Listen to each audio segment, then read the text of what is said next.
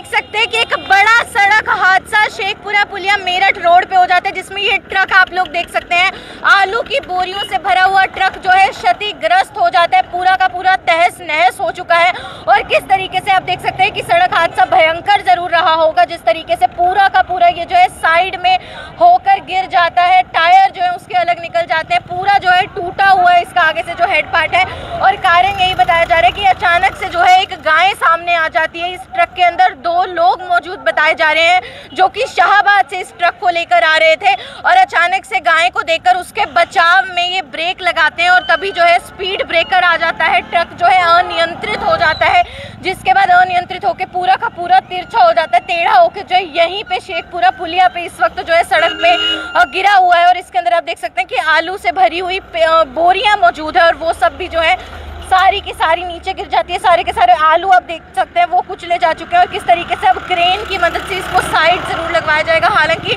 Police को भी सूचना दे दी गई थी, वो भी मौके पर पहुँची थी, लेकिन आप लोग एक बार देख सकते हैं किस तरीके से सड़क के बीचों बीच ये ट्रक जो है, पूरे तरीके से तहस नहस होकर टूटा हुआ है और सारा का सारा जो साइड में गिरा हुआ जिस तरीके से आप देख सकते हैं। पीछे से भी काफ़ी जो है बड़े वाहन आ रहे हैं। मेन चलती हुई ये सड़क है और किस तरीके से यही वो स्पीड ब्रेकर है, जहाँ पर जो है ब्रेक लगाने की कोशिश की गई। यहीं कहीं पे बताया जा रहा है कि अचानक से एक गाय जो है वो सामने आ जाती है और उसका बचाव करने के लिए ड्राइवर जो है अचानक से ब्रेक लगाने की कोशिश करते हैं और तभी जो है स्पीड ब्रेकर पे अचानक से जो ट्रक है वो अनियंत्रित हो जाता है और उसके कुछ जगह आगे ही। आप देखेंगे कि पूरा का पूरा साइड में जाके टेढ़ा होके गिरा हुआ है। उसके टायर भी सारे के सारे निकले हुए हैं। उसके अंदर जो आलू की बोरी है, वो सारी की सारी बाहर गिर जाती है। कहीं ना कहीं आप देखेंगे तो ट्रक थोड़ा ओवरलोडेड भी ज़रूर है।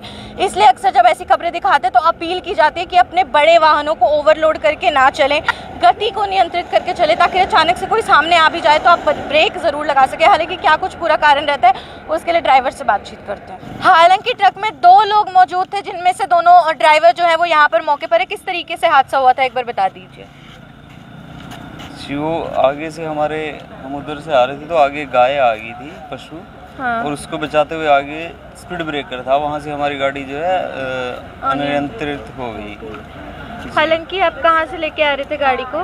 ये हम शाहबाद से लेके आ रहे थे जी। और कहाँ लेके जा रहे थे? कोलकाता जी। और कितने लोग मौजूद थे ट्रक के अंदर? जी दो। आप लोग सुरक्षित हैं? जी। तो ट्रक के अंदर क्या सामान लोडेड है? ये आलू की बोरियाँ हैं। आलू की बोरियाँ हैं। कितनी देर पहले हुआ हादसा? सुबह हुआ है जी साढ़े तीन सुबह साढ़े तीन बजे के करीब हुआ है। तो क्या अभी आपने सूचना दी है? क्रेन वगैरह की मदद से इसको सीधा जी कराया जी हमने दे दी है सूचना। हमारे पुलिस आई थी? जी।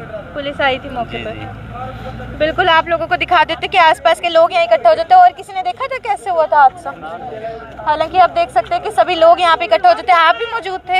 हाँ मैं तो गाड़ी का आप ही। चला रहे थे? हाँ तो कैसे एकदम अनियंत्रित हो गया ट्रक भाई ने बता दिया बस वैसे ही था एक ही गाय आई थी आगे की हाँ झुंड आ रहा नहीं था एक ही गाय थी। तो स्पीड ब्रेकर पे आपने एकदम स्पीड कम जी करनी उसको बचाते बचाते बस जी स्पीड ब्रेकर से बैलेंस बिगड़ा और गाड़ी गई। हालाँकि आपको चोट तो नहीं नहीं आई? नहीं नहीं। बिल्कुल, सुबह तीन, साढ़े तीन बजे जो है बड़ा सड़क हादसा हो जाता है। आप देख सकते हैं किस तरीके से शेखपुर पुलिया पे यहाँ पे एक आलू की बोरियों से भरा हुआ ट्रक जो है वो अनियंत्रित होकर साइड में गिर जाता है। आप देख सकते हैं किस तरीके से। और हालाँकि जो आलू है वो सारे के सारे काफ़ी कुचले जा चुके हैं, काफ़ी साइड पे आके गिर जाते हैं। आसपास के लोग यहाँ पे इकट्ठा हो जाते हैं। और कारण यही बताया जा रहा है कि गाय जो है वो अचानक से जो है सामने आ गई थी। उसके बाद स्पीड ब्रेकर पे जब ड्राइवर दो लोग इसके अंदर मौजूद बताए जा रहे हैं, जब ड्राइवर ने स्पीड ट्रक की कम करनी चाहिए तो अचानक से ट्रक जो है वो अनियंत्रित हो जाता है और बिल्कुल जो आप देख सकते हैं, साइड पे जाके टेढ़ा होकर गिर जाता है। हालाँकि जो उसके टायर हैं वो भी बाहर ज़रूर निकल जाते हैं। आप देख सकते हैं कि पूरे तरीके से ट्रक जो है, वो कहीं ना कहीं टूट चुका है, तहस नहस हो चुका है। आगे से भी काफ़ी ज़्यादा डैमेज हुआ है और जो इसके अंदर सामान लोडेड थी, आलू की बोरियाँ इसके अंदर लोडेड थी, वो भी सारी की सारी साइड में गिर जाती हैं। शेखपुरा पुलिया मेरठ रोड पे बड़ा सड़क हादसा हो जाता है, जिसमें आप देख सकते हैं, एक ट्रक जो है, वो पूरे तरीके से तहस नहस हो जाता है। सड़क के बिल्कुल बीच में तिरछा होकर आप देख सकते हैं किस तरीके से गिरा हुआ है और कारण यही बताया जा रहा है कि सामने एक गाय आ गई थी, जिसको देखकर ड्राइवर उसके बचाव में जो है ट्रक को एकदम से ब्रेक लगाने की कोशिश करता है, लेकिन तभी आगे स्पीड ब्रेकर होता है और उसके बाद ट्रक अनियंत्रित हो जाता है और उसके कुछ जगह आगे इस तरीके से टेढ़ा होकर गिर जाता है और इसके अंदर जो सामान ओवरलोडेड था, वो भी सारा का सारा साइड में हो जाता है। हालाँकि दो लोग इसके अंदर मौजूद थे, ड्राइवर, और किस तरीके से वो ज़रूर सुरक्षित है, गनीमत रहती है, जान बचाते वरना आप देखिए कि जिस तरीके से तिरछा हुआ है और ये मेन चलती हुई सड़क है, कितने वाहन आ रहे होते हैं, कुछ बड़ा हादसा भी हो जाता है, लेकिन कह सकते हैं कि बड़ा हादसा होते होते टल ज़रूर जाता है। लेकिन आप देखेंगे, ट्रक पूरे तरीके से डैमेज हो जाता है, सारे उसके जो पार्ट्स हैं वो निकले हुए हैं, उसके जो टायर्स हैं वो निकल के अलग हो जाते हैं। हालाँकि पुलिस को सूचना दी थी, पुलिस मौके पर पहुँची थी। अब क्रेन की मदद से ट्रक को साइड में लगवाया जाएगा, ताकि इसको आवागमन में जो है वाहनों को दिक्कत ना हो, लेकिन अक्सर जब भी ऐसी खबरें दिखाते हैं तो करनाल ब्रेकिंग न्यूज़ एक जिम्मेदार संस्थान होने के नाते अक्सर अपील करता है कि यातायात नियमों का पालन कीजिए। जब भी आप ऐसे भारी वाहन लेकर निकल रहे हैं तो आप उसको ओवरलोड ना करें, क्योंकि फिर अचानक से मान लीजिए आपको गति धीमी करनी है, आपको स्पीड कम करनी है ब्रेक लगानी है तो ओवरलोडेड की वजह से जो आपका वाहन है, वो मिसबैलेंस हो जाता है, यानी कि अनियंत्रित हो जाता है। और वही उसी का एक नमूना आज यहाँ पे देखने को भी मिला।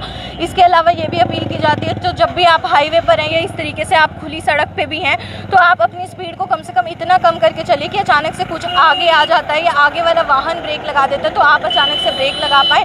इतनी स्पीड ना हो कि टक्कर हो जाए। तो वही अपील आपसे अक्सर की जाती है और पहले भी कई बार इस तरीके के हादसे सामने आए हैं, जिसमें गाय या जो मतलब पशु वगैरह होते हैं, जंगली, वो अचानक से हाईवे पर निकल के, सड़क पर निकल के वाहनों के सामने आ जाते हैं और वाहन इतनी तेज़ स्पीड में होते हैं कि स्पीड को कम करना मुश्किल हो जाता है, जिसकी वजह से बड़े हादसे भी हो जाते हैं। अभी फ़िलहाल के लिए तो कह सकते हैं कि एक बड़ा हादसा होते तो टल जाता है। अब देखिए कि अभी भी कितने वाहन यहाँ से आ रहे हैं बड़े बड़े वाहन और अगर उस समय भी कोई बड़ा वाहन आसपास होता या कोई वाहन साइड से निकल रहा होता और जिस तरीके से एकदम तिरछा होकर गिरा हुआ है, कोई बड़ा सड़क हादसा भी हो सकता था। हालाँकि वो ज़रूर बच जाता है। दो लोग इसके अंदर मौजूद थे।